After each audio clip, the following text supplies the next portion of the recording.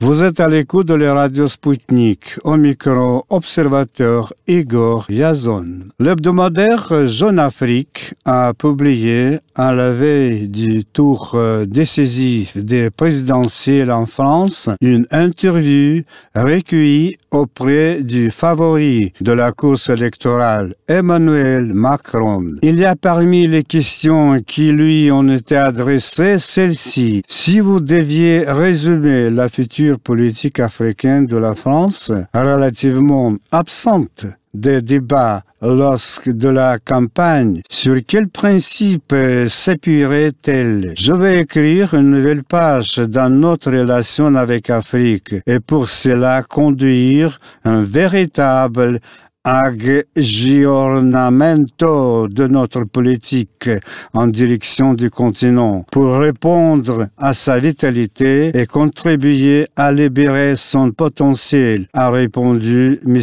Macron. Le président élu veut un grand partenariat entre l'Europe, l'Afrique et la Méditerranée, inspiré du rapport Un partenariat pour l'avenir, rédigé par Hubert Védrine, Lionel Zinsou, Tidjan Tiam, Jean-Michel Severino et Hakim El Karoui. Il s'agit de créer une relation d'intérêt partagé entre de véritables partenaires en activant dans les deux sens tous les flux économiques, humains et culturels qui unissent des deux côtés de la Méditerranée. Pour sa politique africaine, Emmanuel Macron veut créer un conseil présidentiel pour l'Afrique qui devrait réunir des personnalités africaines et françaises pour inspirer la nouvelle politique. Le président Emmanuel Macron est le plus jeune parmi ses prédécesseurs dans le Cinquième République et les citoyens espèrent que les changements positifs seront opérés sur le volet africain de la politique étrangère française, a souligné Lionel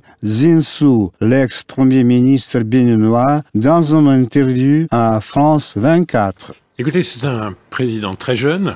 On est un continent très jeune. C'est assez intéressant euh, de voir ce dialogue entre deux jeunesses. Comme il est très jeune, il n'est pas pris euh, dans des héritages euh, liés à d'autres relations entre la France et l'Afrique. Il a dépassé les clivages gauche et droite, la gauche pour la décolonisation, la droite qui assume l'héritage colonial, et en même temps il a affirmé des valeurs qui, je crois, ont été vraiment euh, reconnues en Afrique comme très importantes, euh, contre la xénophobie, le racisme évidemment, mais aussi en n'assumant pas euh, l'héritage de la colonisation, le désignant comme crime, en prenant des risques politiques intérieurs en disant ça, notamment la droite et l'extrême droite ont créé un tollé contre ces déclarations en Algérie, mais je crois que ça a été très entendu sur tout le continent et aussi chez les afro-descendants de la diaspora. D'ailleurs, la diaspora a toujours été évoquée par lui comme apportant quelque chose à la culture de la France. Ça, c'est assez nouveau, c'était assez rare dans la campagne. Je pense que clairement, c'est l'approche d'une nouvelle génération et d'ailleurs, il se sent très comptable du futur. Et euh, quand vous parlez avec lui de l'Afrique, il vous parle d'économie digitale, d'incubateurs euh, pour des entreprises euh, à la fois africaines ou françaises intéressées à l'Afrique. Il vous parle de changement climatique, euh, d'énergie renouvelable, de technologies nouvelles, de nouvelles solutions, euh, un petit peu d'ailleurs comme il le fait parlant de l'économie française. Donc c'est un homme qui est à la fois dans l'innovation, même un peu dans ce qu'on appelle en anglais de la disruption. C'est quelqu'un qui, qui fait bouger les lignes, qui change complètement l'état d'esprit, l'esprit public. Donc on attend la même chose sur l'Afrique. Il veut doubler l'aide au continent sur euh, son mandat, son quinquennat, donc sur cinq ans. C'est ça la fin de la France-Afrique? Ah, Le fait d'avoir plus de ressources, c'est très important. Mais ce qui est peut-être plus important et qui change vraiment, c'est cette idée la France l'Afrique sont des partenaires à, égalité. On va construire des partenariats à la base avec les entreprises, avec les associations, les fondations, les ONG. Euh, il n'y a pas que les relations entre États souverains. Et l'argent public doit servir de levier pour plus d'argent privé. C'est-à-dire, non seulement on va doubler les ressources sur le temps de quinquennat, en fonction des marges budgétaires, dit-il, c'est un homme raisonnable sur le budget, mais ça doit faire levier d'argent qui viendra d'investisseurs, de banques, et, de façon à ce qu'on ait en fait beaucoup plus que deux fois la masse. C'est-à-dire qu'il a compris que là, on a un effort de mobilisation que la France avait un petit peu de mal à faire. Elle a réformé l'AFD, le président Hollande a déjà quand même beaucoup changé la donne, mais la France a perdu du terrain, elle se donne des instruments pour être au service d'une accélération de la croissance de l'Afrique, dans un esprit qui n'a plus rien à voir avec quelque chose qui, il y a quelques décennies, ressemblait un peu à de la condescendance. Tu as besoin d'assistance Je vais t'assister. Il y a un problème d'insécurité dans toute la zone sahélienne qui va vraiment euh, plus, plus loin, à l'ouest et à l'est. Et, et franchement, c'est une ligne de sécurité à la fois pour tous les pays d'Afrique côtière. Regardez comment la Côte d'Ivoire a été éprouvée par les événements du Mali, comment le Burkina a été éprouvé plus au sud. Regardez comme ça pourrait menacer les pays au nord. Regardez comme ça pourrait menacer l'Europe. Il est très clair, les intérêts de sécurité, ils sont autant d'être l'allié de l'Afrique que d'avoir l'Afrique comme allié pour que le terrorisme ne parte pas d'Afrique vers la France. Donc là, c'est vraiment un cas où on a besoin les uns des autres de se renforcer les uns des autres. Mais c'est presque comme une image du domaine culturel ou du domaine économique, où on a besoin d'être plus fort parce qu'on est ensemble, pour prendre des mots qui sont un peu ceux de la campagne. Le rédacteur en chef du magazine Gambo Nangambo, Lilo Miango, développe les idées de Lionel Zinsou dans une interview qu'il m'a accordée par téléphone de Paris. De M. Lionel Zinsou, c'est un raccourci qui peut fausser les choses. Être un président français jeune et parler à une Afrique jeune est un état d'esprit politique que ici dans la diaspora personne n'en veut. Donc euh, c'est un type de schéma d'un français parce que Lionel Zinsou euh, il est fortement marqué euh, français au sein de la diaspora. En Afrique, chez des peuples africains, même si des mentalités ont été beaucoup abîmées par la colonisation en Afrique, un jeune président français doit parler politique et politiquement à des jeunes en Afrique et à des personnes âgées en Afrique, car en matière politique chez les peuples africains, les personnes euh, qu'on appelle ici, par exemple en France, les personnes du troisième âge et les jeunes sont ensemble pour l'avenir, pour le présent et pour améliorer euh, les, les réalités dans leur politique. Donc le président Macron est une force politique légitime et légalisée par euh, son élection démocratique et victorieuse au second tour de ces présidentielles 2017 pour rester dans le, la problématique qui nous concerne ici, dans le créneau France et Afrique, il a été voté massivement euh, dans la diaspora africaine de France, c'est-à-dire les Français qui ont des origines africaines ont massivement voté pour Macron. Et sur le continent africain, en termes de voix, les immigrés français qui travaillent euh, et qui vivent en Afrique, dans des pays africains, je veux dire, ont donné beaucoup de voix à Monsieur Emmanuel euh, Macron qu'à son adversaire française Marine Le Pen. Cela montre quoi? Cela montre aussi que ce choix a une dimension africaine, une dimension universelle de ces valeurs qu'incarne M. Macron qui lutte contre la haine d'autrui et la haine de l'étranger. Cette élection marque pour M.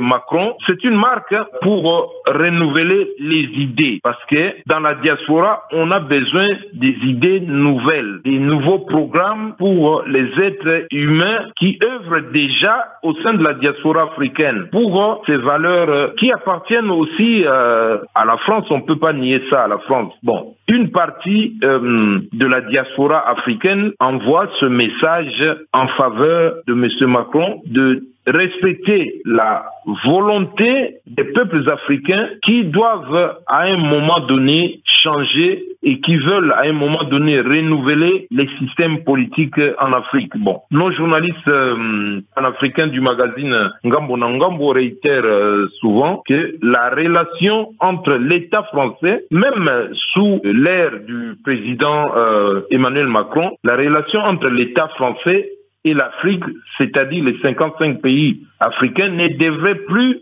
être obligatoirement être considéré à partir des clivages absolus franco-français, c'est ce qu'on appelle ici droite et gauche. Donc, euh, euh ce que nous souhaiterions en tant que membres de la diaspora, c'est le respect, le respect des choix politiques des peuples africains qui tiennent à un renouvellement des classes euh, politiques euh, africaines. donc, M. Macron, euh, s'il répond à ce besoin que les peuples africains ont au sein de la diaspora africaine ici en Occident et en Afrique, devrait respecter cette volonté de renouvellement des classes politiques africaines pour changer des régimes corrompus dans des pays africains. Mais le travail qui est très important, dont rêve et que le travail de Macron comme président euh, sera observé s'il arrivera psychologiquement, j'insiste, à faire obstacle à des réseaux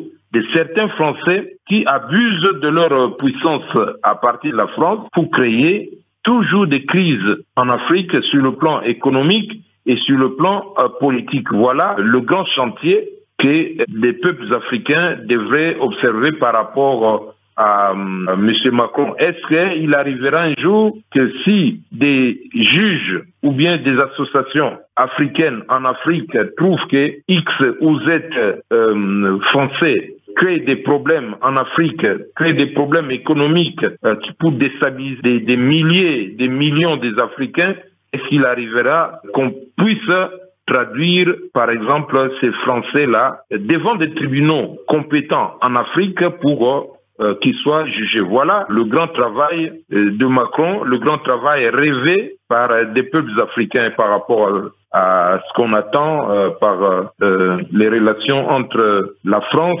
et l'Afrique sous le mandat de Monsieur Emmanuel Macron. Monsieur Lelo, tous les présidents de la Ve République, à partir de Charles de Gaulle, a promis beaucoup de choses hein, pour l'Afrique. Est-ce que vous croyez, vous espérez que le Macron prêt à accomplir sa partie des promesses Bon, c'est un travail, euh, d'abord, euh, il faut qu'il ait de la résistance euh, au niveau psychologique parce que il aura des pressions. Vous avez cité De Gaulle, qui a été un très bon président pour la France. Mais De Gaulle n'a pas été un bon président pour euh, des Africains parce qu'il n'était pas africain.